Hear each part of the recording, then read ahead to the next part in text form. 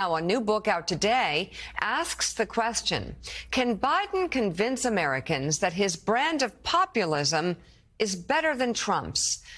In The Rebels, author Josh Green dives into how populism on the left was galvanized by the 2008 financial crisis, sparking an uprising within the Democratic Party led by economic populists Elizabeth Warren, Bernie Sanders, and Alexandria Ocasio Cortez.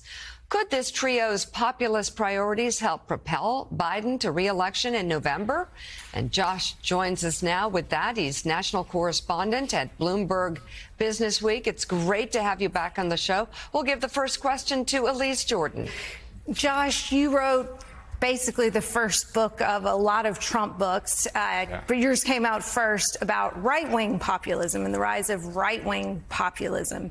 And what commonalities do you see from the right wing populism that fueled Trump and then the new left wing populism? And how difficult is it going to be for President Biden to thread the needle and still keep keep progressives, but keep the centrists that helped propel him to victory in 2020? Yeah, I think the big commonality is that um, there was a huge political backlash after the financial crisis, which on the right, the story I told in Devil's Bargain, in my last book, was how that gave rise to Steve Bannon and Donald Trump.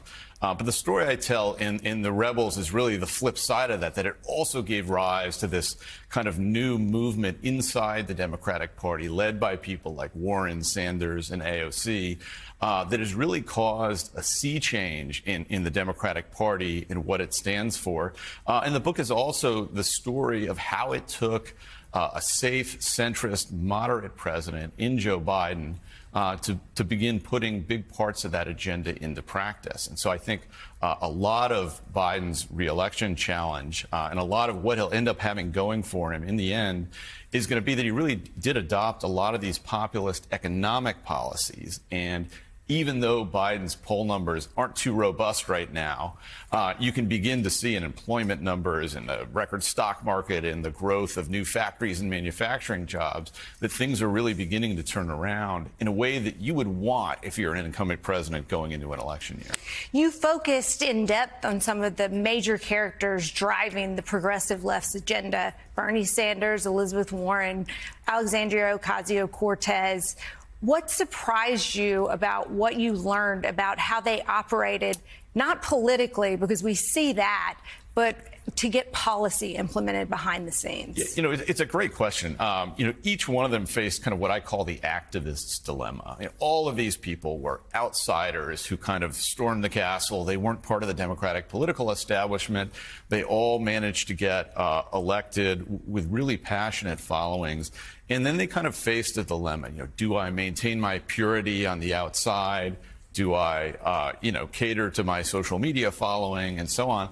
Uh, and each of the characters, you know, in succession decided, no, you know, I'm here to get something done. I have a, a set of policies that I want to achieve. Uh, and they recognized uh, once uh, Warren and Bernie weren't able to win the Democratic nomination in 2020 that the best vehicle to achieve those policies was Joe Biden.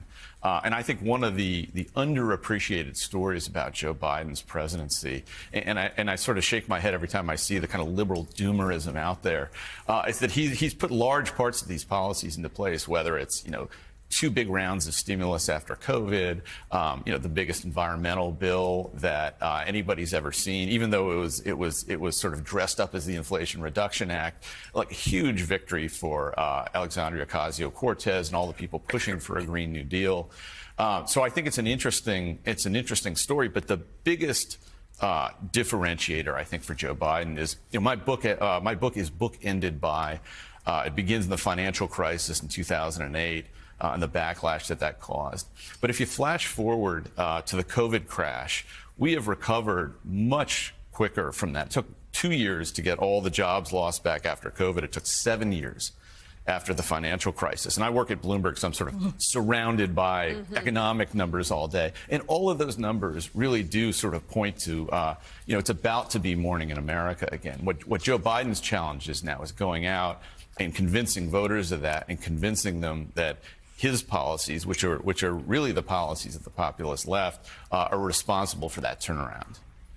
Josh, isn't there overlap between the policies of the, of the, of the, the economic policies of the populist right and the populist left? Uh, and if so, um, what are we arguing about? Yeah, I, I, think there are to an extent. I mean, one of the things you noticed when Joe Biden came in in 2020 was he did not strip away Donald Trump's tariffs. Um, I, I, think both Trump, but, but certainly Biden and Biden's administration uh, understand after the 2008 financial crisis and everything that happened afterwards that there needs to be uh, a big focus on the middle class, and in particular uh, in places like the industrial Midwest that really never recovered from the last financial crisis. And so you see Biden pushing these big industrial policies, um, trying to reshore manufacturing jobs. I was in Aliquippa, Pennsylvania, a couple weeks ago, kind of looking at the ground. They're building a new steel plant to replace the one that was kind of torn down in the 1980s. Um, these things are working uh, economically. I think the challenge for Biden politically, though, is, is convincing people, and especially kind of younger progressives who aren't too hot on him right now, uh, that he's really getting done a lot of what my three characters uh, were, were campaigning on in 2020. And, and I think it's worth pointing out, too, you know, at any point, you know, Warren Sanders and even AOC, who turns 35 in October, could have challenged Joe Biden in 2024 for the Democratic nomination. The fact that none of them did, I think, speaks to the fact that they understand that he's really taken up and implemented a lot of their policies. All right, the new book is entitled The Rebels Elizabeth Warren, Bernie Sanders, Alexandria Ocasio Cortez, and the Struggle for a new American politics. Josh Green, thank you. It's great to have you on the show. Congratulations on the book. Thanks so much, guys.